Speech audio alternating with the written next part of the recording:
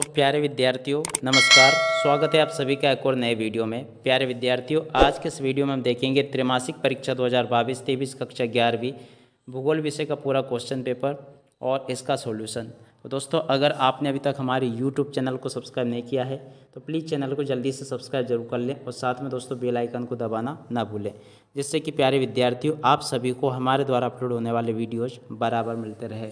तो चलिएगा दोस्तों, वीडियो में आगे बढ़ते हैं, देखते हैं और समझते हैं कि आपकी त्रैमासिक परीक्षा दो हज़ार बाईस, तेईस, कक्षा ग्यारहवीं भूगोल विषय का क्वेश्चन पेपर आपका कैसा आएगा, किस आधार पर दोस्तों आपको इसकी तैयारी कर लेनी चाहिए और कितना क्वेश्चंस दोस्तों यहाँ से परीक्षाओं में से आपसे पूछे जाएँगे। तो चलिएगा अब आगे बढ़ते हैं, देखते हैं और समझते हैं कि आपकी त्रैमासिक परीक्षा दो हज़ार बाईस, तेईस, कक्षा ग्यारहवीं भूगोल विषय का क्वेश्चन पेपर आपका कैसा आएगा? कितना क्वेश्चंस दोस्तों यहाँ से आपसे परीक्षाओं में से पूछे जाएँगे?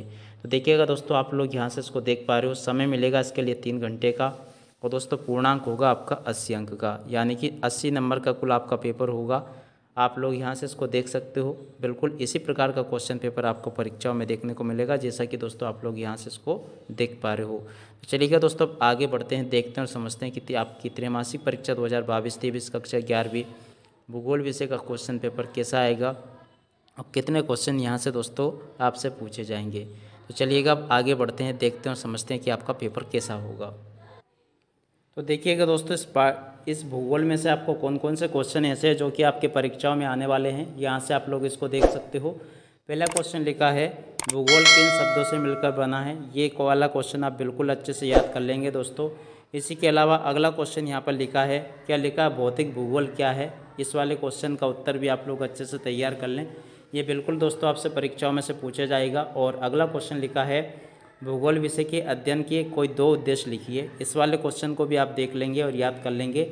और उसके अलावा अगला क्वेश्चन लिखा है, यहाँ से आप लोग देख लें, भूगोल की एक परिभाषा लिखिए। ये आपसे दोस्तों 2020 में भी पूछा गया है। तो ये आप सब लोगों के लिए बहुत ही ज़्यादा ज़रूरी है और इसके अलावा क्वेश्चन नंबर छठा और सातवीं को भी आप लोग याद कर लेंगे। छठा क्वेश्चन ये है और सातवां ये, दोनों के क्वेश्चन को आप लोग याद कर लेंगे।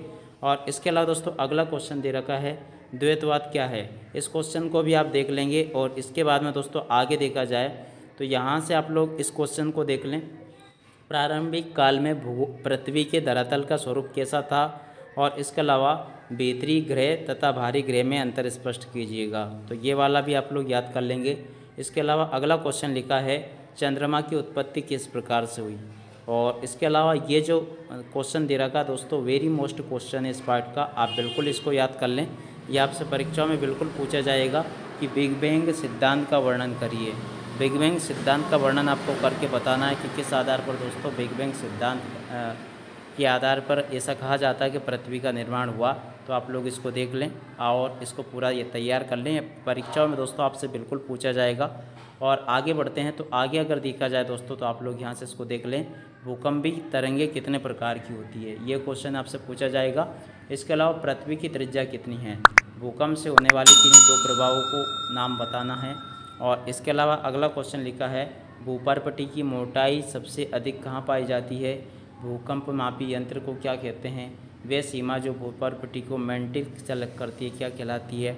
सभी के सभी क्वेश्चन दोस्तों, आप सभी के लिए बहुत ही ज़्यादा ज़रूरी है। आप आप सभी लोग इनको नोट भी कर ले और याद भी कर ले दोस्तों। पूरा का पूरा क्वेश्चन पेपर दोस्तों आपका परीक्षाओं में इसी प्रकार का आएगा। जैसा कि दोस्तों यहाँ पर आपको दिखाया जा रहा है तो आप सभी लोग यहाँ से इसको देख लेंगे और दोस्तों इसको अच्छे से याद कर लेंगे। चलिएगा, अब आगे बढ़ते हैं। तो आगे अगर देखा जाए दोस्तों तो आप लोग यहाँ से इसको देख लें। यहाँ पर से अगर देखा जाए तो ये वाला क्वेश्चन आप सभी के लिए बहुत ही ज़्यादा ज़रूरी है। दोस्तों, आप सभी लोग इस क्वेश्चन को नोट कर लेंगे। पृथ्वी की आंतरिक संरचना का विस्तार से वर्णन आपको करना है। देखिएगा, ये वाला क्वेश्चन आप लोग अच्छे से याद कर लेंगे। ये वाला क्वेश्चन दोस्तों, परीक्षाओं में बिल्कुल आपसे पूछा जाएगा तो इसलिए आप सभी लोग इस क्वेश्चन को अच्छे से नोट कर लें और याद भी कर लीजिएगा। पूरा का पूरा क्वेश्चन दोस्तों, आपसे परीक्षाओं में इस आधार पर ये पूछा जाएगा। इसी के साथ में दोस्तों, इस वीडियो को यहीं पर पूरा करते हैं। नमस्कार।